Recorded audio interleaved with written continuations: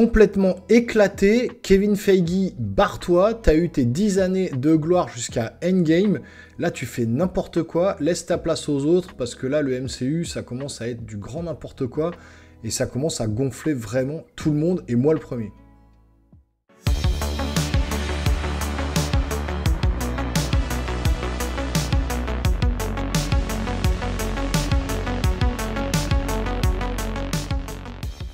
Bonjour les amis, bienvenue sur la chaîne. Donc vous avez compris, je viens de sortir de la séance du film The Marvel, dernier film du MCU, euh, avant la phase 6, avant la nouvelle année 2024 qui s'annonce.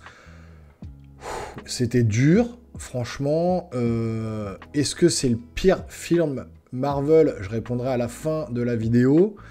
Il y aura une petite partie spoiler à la fin pour parler au moins des scènes post-génériques, parce que euh, c'est le seul truc qui vaut le coup dans ce film, c'est les scènes post-génériques, parce que ça annonce peut-être, on croise encore les doigts, on, a encore de, l'espoir pour la suite du MCU, mais euh, là, franchement, je crois qu'ils m'ont perdu, je crois qu'ils ont perdu une grosse partie du public, et avec ce film The Marvels, c'est pas avec ce film-là qu'ils vont reconquérir le cœur des fans.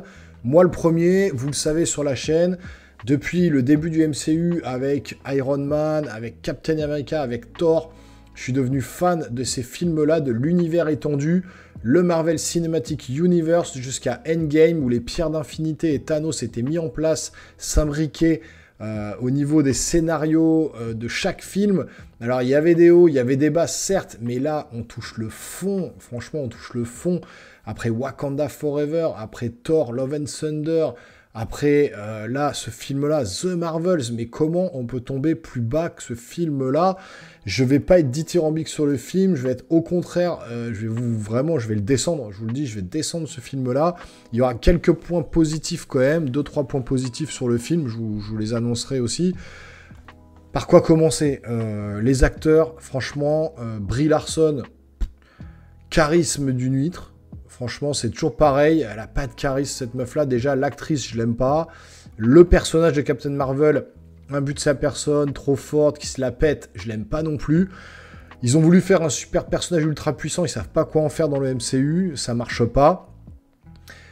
Kamala Khan, alias euh, Miss Marvel, pareil, il faut avoir vu, alors euh, petite parenthèse, hein, il faut avoir vu les séries. Alors ils vous disent non, faut pas voir les séries pour comprendre le MCU, n'importe quoi. Enfin, si vous n'avez pas vu Miss Marvel, comment elle obtient ses pouvoirs, etc. Si vous n'avez pas vu WandaVision avec les pouvoirs à photons, donc Monica Rambeau, et si vous n'avez pas vu le premier Captain Marvel, euh, etc. Euh, le film, euh, vous allez rien comprendre, y compris peut-être Secret Invasion avec les Skrulls et compagnie. Enfin voilà, ça mêle tout ça. ça si vous n'avez pas vu ces séries-là de Disney+, vous allez arriver devant le film The Marvel, je vais dire mais pourquoi elle a des pouvoirs elle, elle c'est qui, comment ça se fait qu'elles sont connectées, machin. Enfin voilà, vous allez rien piger quoi. Donc déjà de, de ce postulat-là, il faut avoir vu les séries et les anciens films pas tous, mais certains, pour comprendre plus ou moins le, déroulement du film The Marvels. Donc de ce point de vue-là, voilà, donc, euh, euh, Brie Larson qui, moi, m'insupporte. Euh, on a Kamala Khan, la jeune, là, indienne, pakistanaise, qui joue le rôle de, Miss Marvel, qui, joue plutôt bien la comédie, mais bon, qui est un personnage complètement secondaire. on n'a pas vraiment envie de la suivre dans ses aventures. Monica Rambeau, alias Photon, qui s'en sort peut-être un petit peu mieux, qui a un peu plus de charisme, mais qui n'est pas non plus euh, une super-héroïne comme on l'attendrait. Et les trois réunis à l'écran, ça marche pas, en fait, c'est euh, c'est un peu creux, leur façon d'interagir entre elles. Elles sont toujours en train de sortir des blagues à deux balles. Euh, franchement, ça agace à partir de, de, la moitié du film, vous en pouvez plus. Pareil, girl power à 100%. Alors là, wokisme, euh, puissance féminin, euh, x 2000, pire que Barbie. Euh, je vous le dis tout de suite, on aurait eu un film comme ça à l'époque, je veux dire, enfin, il se plaignait à l'époque quand il y avait que des, mâles alpha, des, personnages masculins à l'écran. On se plaignait, ouais, il n'y a pas de femmes, machin, ça criait aux féministes, toutes les associations à se soulever. Euh, il y avait quand même, à chaque fois quand même, hein, il y avait quelques femmes dans, euh, dans ces films-là de super-héros.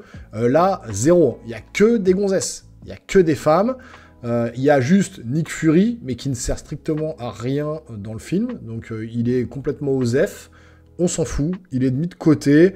il règle aucun problème, voilà, il s'arrête aux femmes. Mais alors, il y a les trois héroïnes, euh, il y a la mère de Kamala Khan, il y a euh, l'antagoniste qui est creuse comme pas possible, elle a pas de charisme du tout non plus.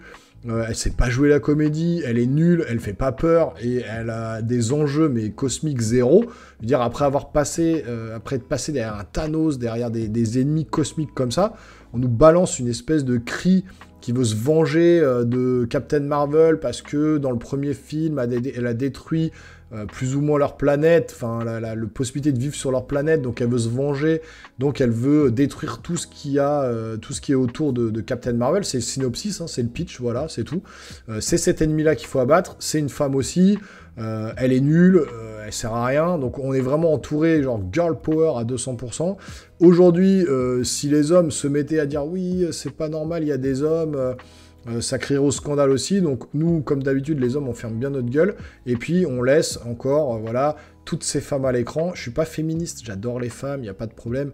Mais il fallait arrêter de crier avant dès qu'il n'y avait pas de femmes à l'écran. Et là, de faire tout l'inverse, enlever tous les hommes, mettre que des femmes. Mais bon, pourquoi pas On est dans le wokisme, on est en 2023, c'est toujours pareil. Mais bon, euh, revenons-en donc sur le film en lui-même. Donc le film inintéressant, qui n'apporte rien, encore une fois, au MCU. Euh, on ne sait pas vers où ils vont. Pas de, pas Kang le Conquérant, pas de nouvel ennemi, enfin rien du tout. Un film one-shot encore, 1h45. Heureusement, euh, qui dure pas plus longtemps. des scènes qui ont ni queue ni tête. Alors, Petit point positif, je mélange un peu tout, hein, c'est une réaction à chaud là, je suis vraiment euh, saoulé d'être sorti de cette séance là, c'est vraiment n'importe quoi. Petit point positif quand même, les effets spéciaux, euh, j'avais fait une reaction trailer sur euh, justement la, bande-annonce de Marvel, j'avais tiqué vraiment, j'avais pesté sur les effets spéciaux en mode mais qu'est-ce que c'est que ça? Les incrustations étaient horribles, ça se voyait à l'écran, les fonds verts et tout, c'était une catastrophe. Là, franchement, on voit que ça s'est amélioré, les effets spéciaux sont plutôt bien incrustés, c'est pas mal fait dans l'ensemble, ça marche bien. Donc de ce côté-là, point positif. Deuxième point positif, puis après on passera aux autres points négatifs, vraiment qui, concernent vraiment le film en lui-même. Puis ensuite la partie spoiler, où on parlera voilà, des, scènes post-génériques principalement. Euh, le deuxième point positif, certaines chorégraphies de combat qui sont pas trop mal, parce que dans le film, les trois pouvoirs des personnages sont connectés, à chaque fois qu'elles utilisent leurs pouvoirs ensemble, bah elles se, elles, se téléportent et elles changent. Elles vont, euh, par exemple, Kamala Khan, enfin Miss Marvel va aller à l'endroit de Captain Marvel, Captain Marvel va aller à l'endroit de euh, Photon. Donc du coup, elles se, elles se, elles changent comme ça, elles se téléportent euh, entre elles. Donc euh, les chorégraphies de combat sont bien menées parce qu'elles apprennent à contrôler leur téléportation comme ça, et donc ça donne des phases de combat qui sont sympas visuellement, sympas à voir, mais euh, voilà, au niveau, euh, au niveau, on va dire, visuel, ça s'arrête là pour le film. Il n'y a rien d'autre d'exceptionnel, ça se passe beaucoup dans l'espace, sur des fonds noirs, donc forcément c'est plus facile à cacher. Donc voilà, il y a dans le vaisseau ou sur une planète, euh, on va pas voyager partout. Euh, voilà, c'est pas très varié.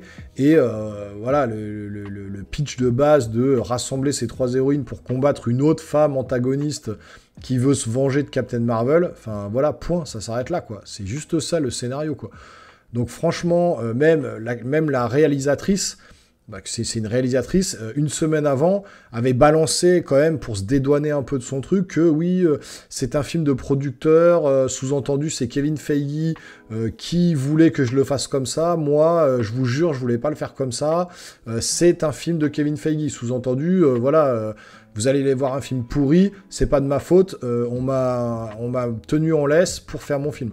Donc voilà, donc Kevin Feige, barre-toi, T'as fait tes 10 ans, tes 12-15 ans de Marvel, là, t'as fait le mieux, le meilleur au début. Je pense que t'es un peu saoulé, que t'aimes plus Marvel. Barre-toi, laisse la place à un mec qui kiffe Marvel, qui kiffe l'univers et qui va nous sortir des trucs un peu mieux. Mais là, c'est juste pas possible. Il y a une scène dans le film, c'est un petit spoil, mais il y a une scène dans le film, ils arrivent sur une planète où en fait, les gens ne peuvent pas euh, parler, doivent chanter en fait pour parler. Et là, on commence à tomber dans une simili comédie musicale à la Disney Princesse. Euh, je suis resté bouche bée. Pour vous dire, franchement, ce film, c'était vraiment pour les femmes. Enfin, clairement, euh, ça visait un public féminin. Euh, je voyais dans la salle, il y avait des couples, il y avait des femmes toutes seules, il y avait des hommes tout seuls. Les hommes, bah, comme moi, machin, On était un peu bouche bée devant le truc, on était un peu saoulés en mode non mais qu'est-ce que je suis en train de regarder? Et les femmes à côté c'était là, ah c'est beau, j'entendais hein, dans la salle, ah c'est mignon, ha ha ha, oh les petits chats ils sont beaux, oh là là, la comédie musicale c'est bien, ah ils dansent, ils chantent, ah ouais c'est trop bien. Et voilà quoi, voilà le niveau quoi. Enfin j'ai j'ai rien contre vous mesdames, mesdemoiselles, je vous adore, mais là franchement quand on va voir un film de super-héroïne, ça, ça ça vous met pas en valeur. Hein. Les super-héroïnes comme ça, cruche, ça vous met pas en valeur. Il faut mettre des super-héroïnes qui en imposent, qui sont badass, qui, qui peuvent justement montrer aux hommes que, a, que vous n'avez pas besoin de nous. Et là, en fait, c'est tout l'inverse. Là, la réalisatrice, ou Kevin Feige, je sais pas qui tenait les rênes, mais a fait de, des héroïnes, là, dans le film, des espèces de cruches avec des pouvoirs qui, euh, voilà, qui sont strictement inutiles, qui n'ont pas de charisme, ça fonctionne pas. Donc on est sur cette comédie musicale avec des belles robes, avec des princesses Disney. Donc là déjà on hallucine. Ensuite il y a des plein de petits chatons partout. J'avais l'impression d'être sur TikTok avec euh, le chaton euh, qui tombe, le chaton qui griffe. Enfin j'étais là, non mais pitié, mais qu'est-ce que c'est que ça quoi? Franchement mais qu'est-ce que c'est que ça? C'est une comédie, c'est potage, ça fait que de sortir des blagues à deux balles. Je vous dis, à part quelques chorégraphies qui sont bien menées et les effets spéciaux qui finalement sont pas dégueulasses, euh, voilà, il n'y a rien à regarder de ce film. C'est juste une catastrophe. Je sais pas vers quoi. Euh, je sais pas pourquoi Kevin Feige fait ça. Je comprends pas. Euh, c'est juste incompréhensible. Enfin, franchement, on avait 10 années de pur film qui montaient crescendo, même s'il y avait des hauts et des bas, comme je vous ai dit. Mais il y avait quand même une finalité avec les Avengers Infinity War Endgame qui était juste mais phénoménal. À la fin, ça vous donnait les frissons, la musique, le Avengers Rassemblement. Mais bon, franchement, mais rendez-moi ça, rendez-moi ça, et rendez-moi ça. C'est ça qu'on veut voir au cinéma. C'est des vrais super-héros qui en imposent, qui ont du charisme, et pas euh, les trois héroïnes qu'on a vues à l'écran là, avec une antagoniste complètement aux fraises, avec un film Osef qui a un scénario bancal, qui n'apporte rien au MCU, et qui fait pas avancer les choses, et qui va enfoncer Marvel encore plus dans les tréfonds de la médiocrité. Et donc moi, ça m'agace parce que voilà, j'adorais ces, ces films-là, l'univers était juste énorme. Ils sont en train de tout gâcher. J'avais des figurines, j'avais vraiment tous les films en Blu-ray, machin, je me les suis fait tous. Et là, ils sont en train de tout péter. Donc, euh, franchement, c'est agaçant. Est-ce que c'est le pire film Marvel? Je vais vous répondre à la question maintenant. Mon cœur balance entre trois films, honnêtement, de la phase 5, là, des dernières phases. C'est Wakanda Forever, euh, Thor Love and Thunder et celui-là. Et je vais peut-être en choquer certains, mais je vais écarter Thor Love and Thunder de l'équation parce que j'adore les Gardiens de la Galaxie, j'adore Thor, c'est mon, je suis un fanboy de Thor, j'adore Chris Hemsworth, l'ambiance de Thor et des Gardiens, je trouve que ça marchait très bien. Euh, bon, après, il y avait ces petites blagounettes dans Thor Love and Thunder qui étaient vraiment euh, agaçantes, je suis d'accord, mais franchement, entre Wakanda Forever et The Marvels, mon cœur balance. Parce que Wakanda Forever, c'était juste une catastrophe aussi. Enfin, me concernant, il y a plein qui l'ont aimé. Moi, je l'ai détesté. J'ai trouvé ça nul. Les reshoots, les trucs, parce que l'acteur était mort. On a dû, on a dû prendre, à la dernière minute, on a, pris la gonzesse pour en faire l'héroïne. Pareil. Et euh, au final, ça a été reshooté. Ça se voyait. C'était mal fait. Et j'ai pas du tout aimé, mais vraiment pas du tout. Je trouvais ça naze. Mais en termes de réalisation, Wakanda Forever est peut-être quand même un cran au-dessus, donc on pourrait quand même peut-être dire que The Marvels est le pire film Marvel jamais réalisé. Donc oui, j'ose le dire, entre Wakanda Forever et celui-là, c'est un peu à égalité, mais allez, un petit plus pour The Marvels, 1h45 sans les génériques, vous comptez 1h30, ou en plus on vous met des résumés vite fait au début pour vous parler euh, des différentes euh, héroïnes, parce que si vous n'avez pas suivi les du coup les séries ou tout l'univers Marvel, vous pouvez pas tout comprendre, donc vous réduisez le film à 1h20, 1h25, bâclé, nul, éclaté au sol. Franchement, euh, les petits chats et, euh, euh, la comédie musicale Disney Princesse, non mais c'est pas possible quoi. Donc voilà, je vais arrêter là, on va passer en partie spoiler, parce que là il y a des trucs peut-être plus intéressants à parler sur les scènes post-générique. Donc si vous n'avez pas vu le film ou si vous voulez aller le voir, quittez la vidéo tout de suite et revenez après. Euh, là, si vous voulez, vous pouvez déjà d'ores et déjà vous abonner à la chaîne, lâchez un gros pouce en l'air si la vidéo vous a plu. On part en partie spoiler et on va parler des deux scènes post-génériques euh, du film The Marvels.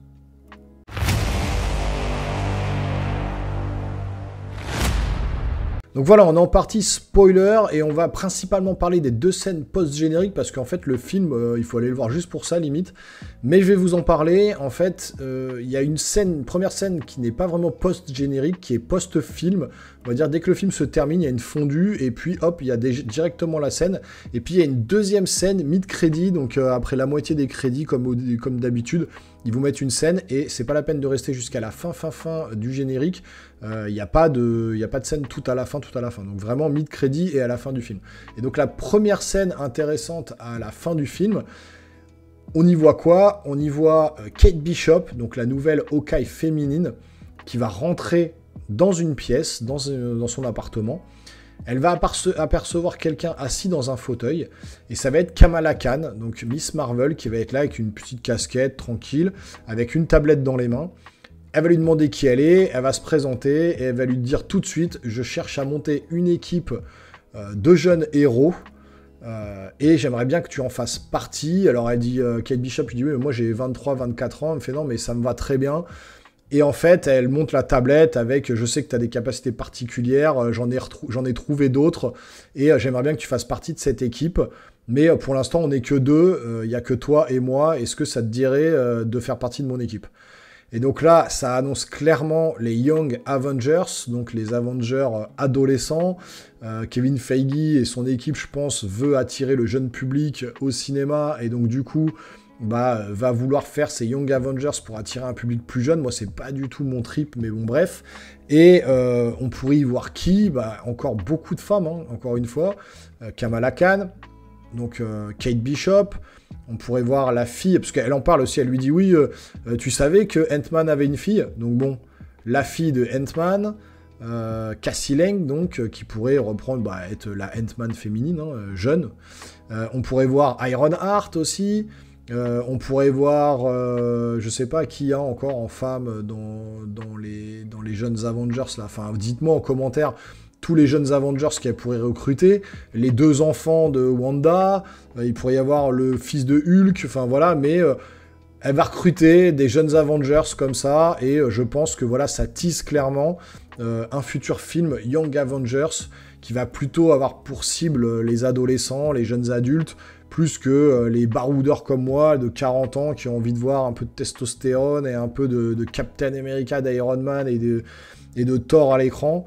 Bon, il en faut pour tout le monde, on verra ce que ça va donner, mais clairement ça tease l'arrivée des Young Avengers, donc ça y est, c'est acté. Et la deuxième scène qui est beaucoup plus intéressante, je trouve, et qui me fait beaucoup plus plaisir, c'est qu'à la fin du film, Monica Rambeau, donc euh, alias Photon, récupère les pouvoirs de une partie des pouvoirs de, Captain Marvel et de Kamala Khan. Elle les absorbe, ils perdent pas leurs pouvoirs, mais elle les absorbe. Et elle part fermer une fissure dans l'espace-temps parce que là, euh, l'antagoniste principal dans le film, en fait, a, le pouvoir de euh, briser l'espace-temps et avec, avec, son marteau, là, parce qu'elle fait partie un peu des, des, des, cris comme euh, Ronan l'accusateur. Elle a d'ailleurs le même marteau que Ronan l'accusateur dans, les Gardiens de la Galaxie.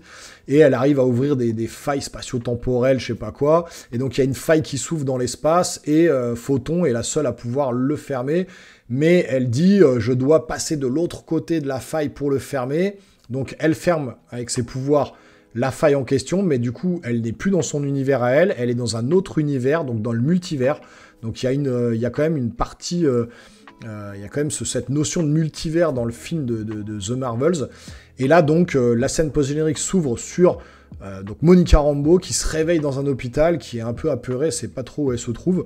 Elle lève les yeux, elle voit à côté sa mère, donc qui est morte dans son univers à elle.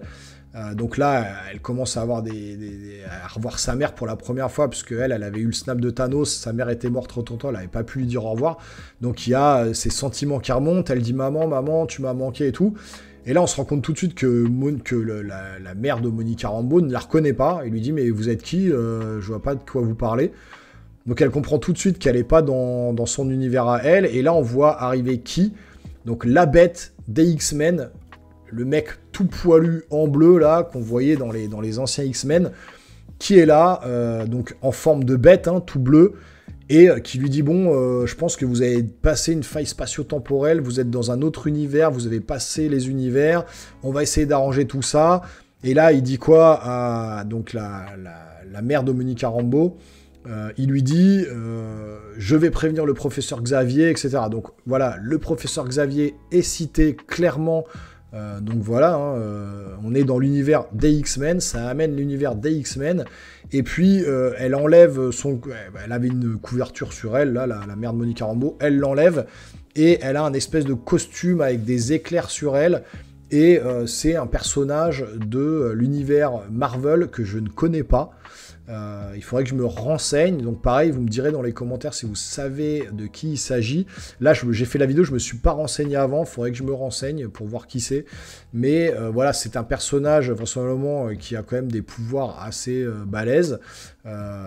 Bon, de, par son aspect, on verra bien ce que ça donne. Mais voilà, les deux scènes post-génériques, ça donne ça. Ça annonce les Young Avengers d'un côté, les X-Men de l'autre. Donc on y est, on rentre dans le bois dur. Maintenant, euh, en ayant vu tous les films qui sont sortis, ça fait un peu peur. Est-ce qu'ils vont redresser la barre? Est-ce qu'ils vont se remettre à faire des bons films, des bonnes séries? On avait le trailer de Echo où j'avais fait la réaction aussi qui avait l'air quand même pas mal. Le Daredevil qui va venir. Est-ce qu'ils vont redresser la barre avec les prochains films bah, J'en sais rien, mais en tout cas, euh, le plus intéressant, je vous dis, dans le film The Marvel, c'est ces deux scènes post-génériques. Donc on croise les doigts, on espère que la suite sera mieux, mais moi, ils sont en train de me perdre, clairement, Marvel, là, ça fait déjà un bon moment, en fait, je veux pas me l'avouer, mais je pense qu'ils m'ont déjà un peu perdu. Euh, gens en ont un peu marre des super-héros, il faut dire, c'est vrai, c'est vrai, moi là aussi, j'en ai un petit peu marre, là, j'avoue que j'aimerais bien que qu'on revienne 10 euh, ans en arrière et que je revoie Iron Man pour la première fois et que je me dise c'est quoi ce truc, c'est trop bien? Bon, écoutez, vous me direz ce que vous en avez pensé en commentaire si vous avez vu le film. N'hésitez pas encore une fois à vous abonner, à activer la petite cloche, lâchez un gros pouce en l'air, ça donne de la force. Et nous, on se revoit très rapidement sur une prochaine vidéo. Portez-vous bien les geeks. Ciao ciao